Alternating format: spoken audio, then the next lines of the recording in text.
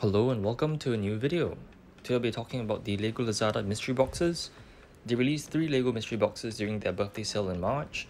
So I'm going to show you the three different mystery boxes available and I'll show you the one I actually picked up as well as the items inside.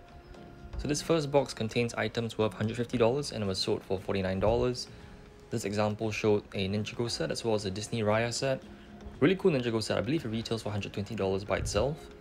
The second box uh, cost $29 and the value inside is about $100. So the example they showed was the Shang-Chi set and there's one more set inside which I can't quite remember what was in there. The third example is this $49 box again and this one is valued at $165. The example they showed here was this Trolls, Mario as well as Dot set. There's also another box from Hasbro uh, that I thought was worth mentioning. It's $79 and it's valued to be $200. Really cool Bo-Katan Black Series helmet. Uh, the Titan figurines are nice and I don't think they're worth anything really. The main draw of course is the helmet and I think $79 for this Bo-Katan helmet is still a pretty good deal.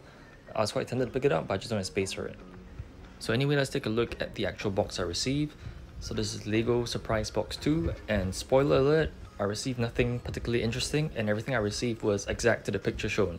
So here we have the Tanuki Mario Power Up Pack. Nice little outfit set, it retails for 4 in stores. The other set we have here is this Dots multi-pack, Summer Vibes, retails for $49.90. Dots is retiring end of the year, and this is quite a nice set, pretty cool packaging as well. The first Dot set I have in my collection. The next set we have here is this uh, Puzzling Piranha Challenge Super Mario set. I believe it retails for $49.90. Not the most interesting um, add-on pack, but still pretty cool and decent value. So if you add up the total, that was really worth about $115 of value. Here's the back of the box. And the final set we have in here is this Trolls World Tour set. So this is the largest set in this box. Um, it's a retired set. It came out quite a few years ago. I do believe there's a new Trolls movie coming out this year. And I think this set retailed for about $89.90. So if you add the value for all these items in this box, the actual retail price is about $204, which is quite a bit higher than the actual advertised $165 of value.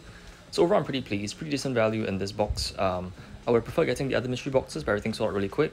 So I do hope Lazada releases more mystery boxes in the future. So that's about it for this video. Thanks for watching and stay tuned for more LEGO videos to come soon.